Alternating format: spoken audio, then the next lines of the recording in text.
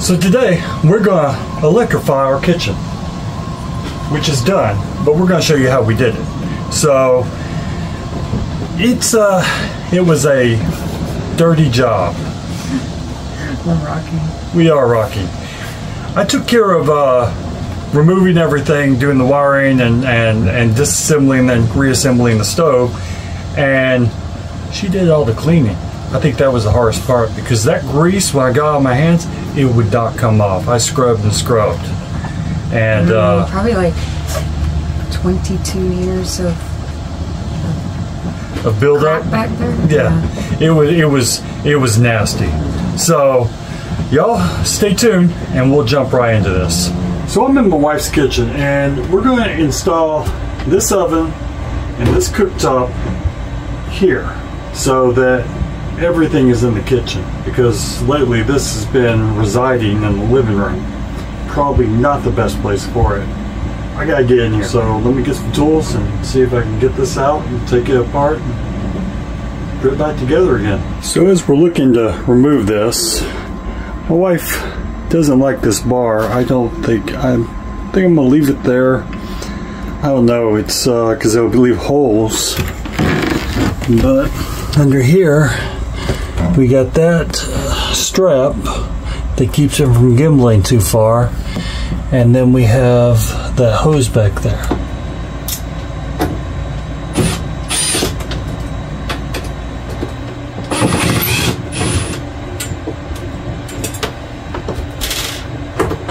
Okay, so I got that off. It didn't take that long. And I know y'all probably going to say you need to keep gas, but it's a heavy, uh, uh, propane's a heavy gas. It'll get down the bilges, and we're not, uh, we're not excited about blowing up. So we're going to do electric, and uh, sorry to see this uh, Force 10 be cannibalized to make a electric.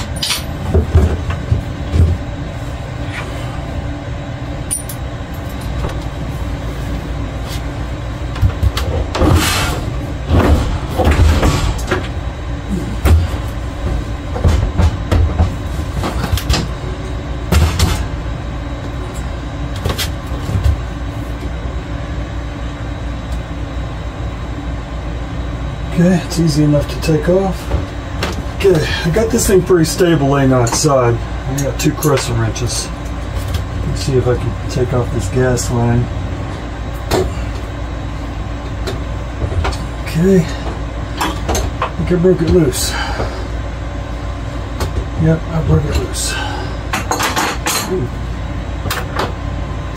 Okay, this is just all kinds of nasty back here. So I found me a separate circuit I can run this cookset off because the microwave runs on its own breaker and we can't use but one at a time. So I'm going to run off the microwave breaker for the stovetop. And the wiring just comes right up through here. Now I've got this all taken. I just took this faceplate off, just uh, four screws, and it comes right off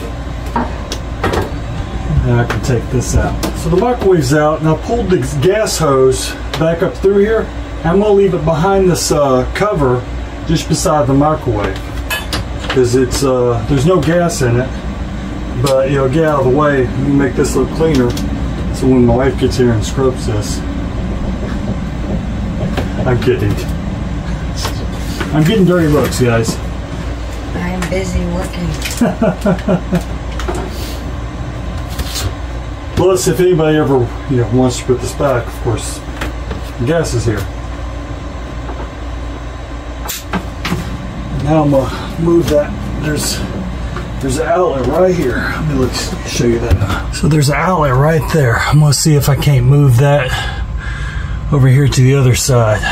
So what I've done is I've moved that from over here to the side. I have screwed in that trim up there. And then I ran a cord from it plugged in to just this. Now we've ran the uh, these items off this and it will support it. So I'm not worried about that, but I know, yeah, I could do better. Okay, I got the oven out It's in the living room. My wife feels trapped in there. And I'm gonna put this uh, microwave back together. Have this plugged in, Ice Maker works.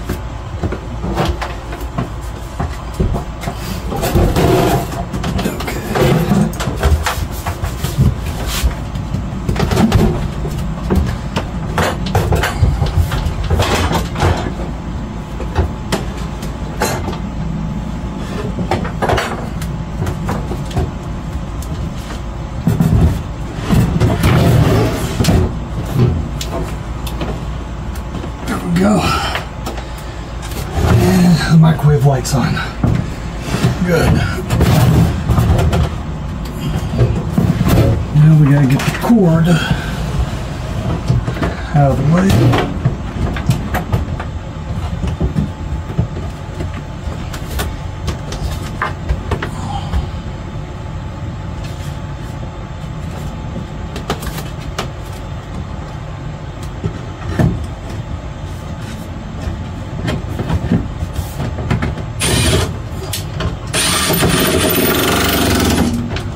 And the microwave's back in. That was pretty hard the way they have it shimmed in there. It's not moving, so that's good. But still, I don't like the way they installed it, but I guess it'll have to work for now. But I know I can rebuild this, and I don't think a bigger microwave would fit in here. And we don't really use the microwave, but if we wanted to, we probably could probably make something a little bit bigger here. Okay, so I've tested it, it's running. Have it plugged in that.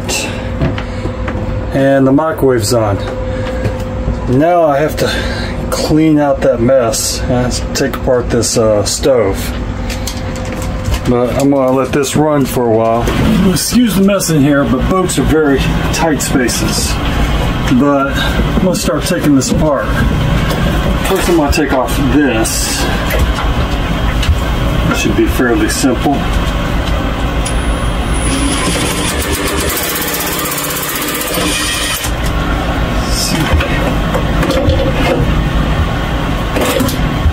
Okay.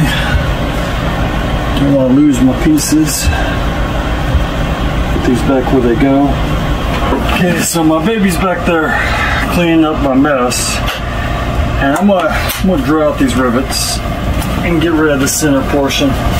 Go, Bella. Get out Oh.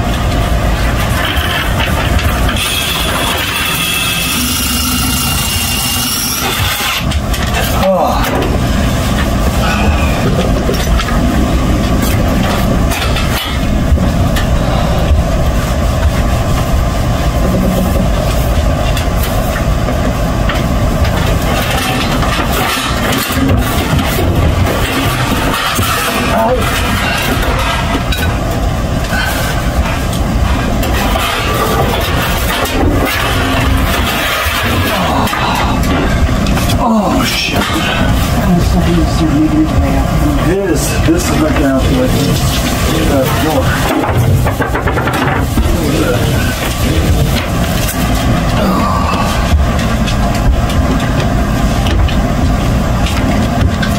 at all them fish. Fish tornado. Oh, wow. Hey, babe, come look at this.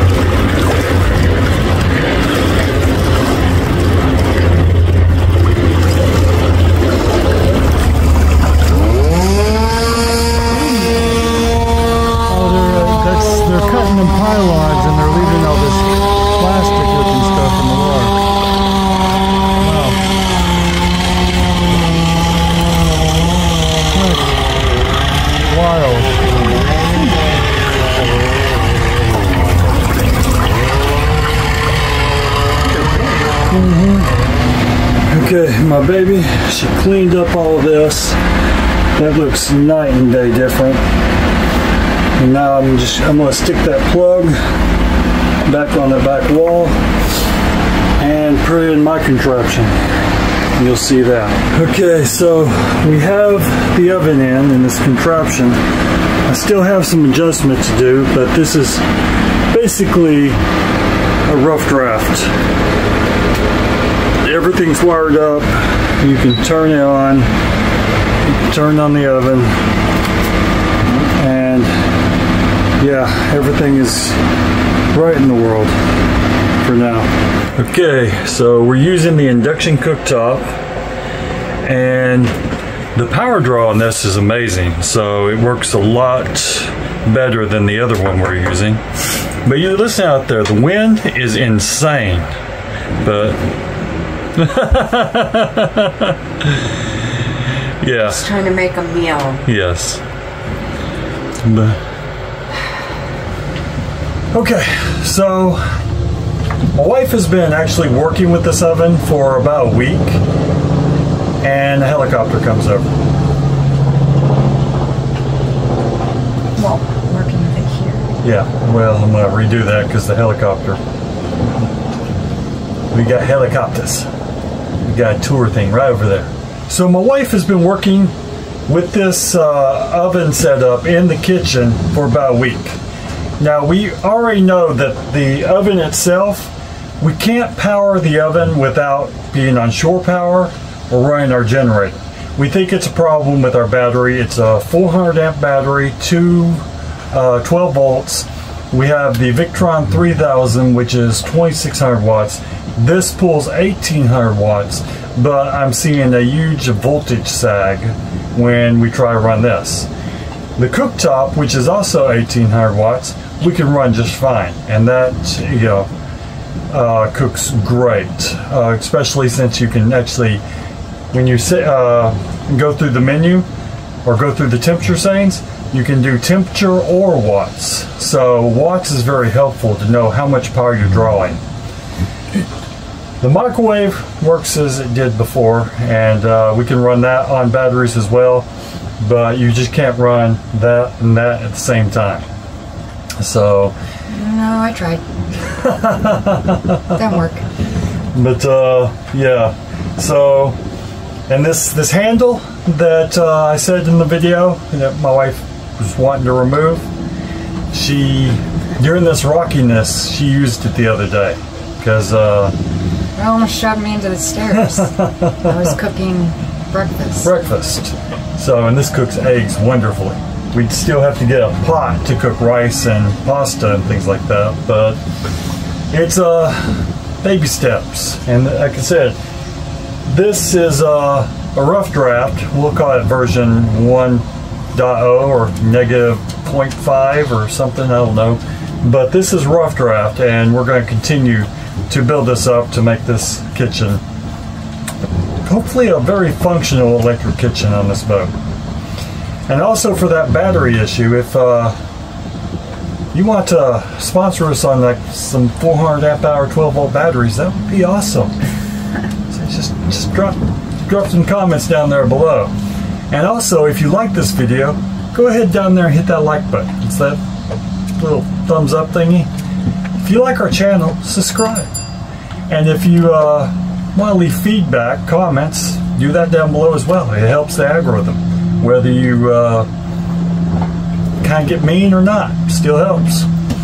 And uh, Don't forget about my cooking. Oh yeah, check out this girl's cooking. And uh, oven uh, recipes are going to be coming back soon. And this oven cooks just like our oven in our house did. So there won't be any changes to that. No, I don't cook on air fry, even though it does do that. But I just I like good old fashioned bake, you know, because that's what I used to do in my kitchen at my house that I don't have anymore. But yeah, So y'all, y'all please take care. bye.